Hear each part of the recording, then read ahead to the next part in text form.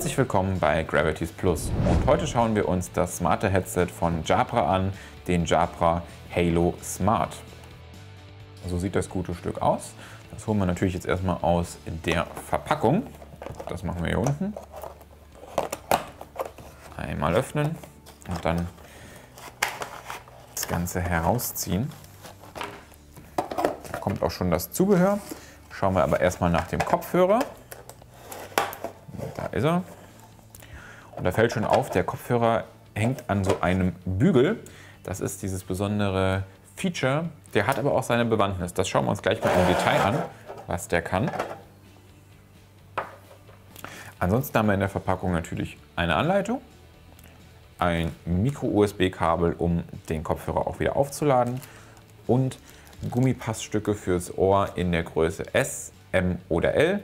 Hier drauf sind standardmäßig die M. Schauen wir uns mal an, was der Kopfhörer so kann.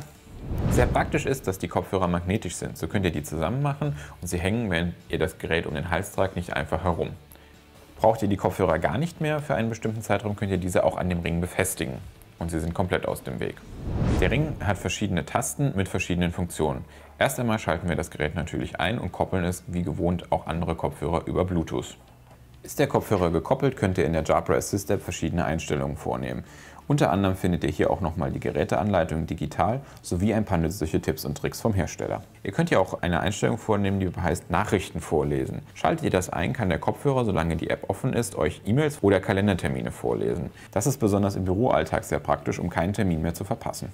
Am Kopfhörer selber habt ihr verschiedene Tasten. So könnt ihr die Lautstärke regeln, eure Anrufe annehmen oder auch Lieder vor- oder zurückdrücken.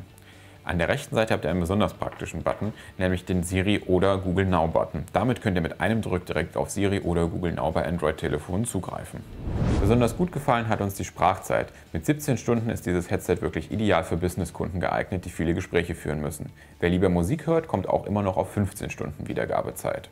Nicht ganz so gut gefallen hat uns, dass man für die Vorlesefunktion für E-Mails und Kalender die Jabra Assist App immer auf dem iPhone geöffnet haben muss. Dies ist bei Android besser gelöst.